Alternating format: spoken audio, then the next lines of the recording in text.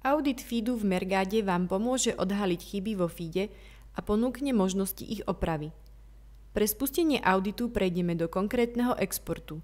Na stránke Prehľad klikneme na tlačítko Spustiť nový audit. Audit prebieha na pozadí. O jeho dokončení budeme informovaní správou v Mergáde a e-mailom s odkazom na jeho výsledky. Zobrazíme si výsledky auditu.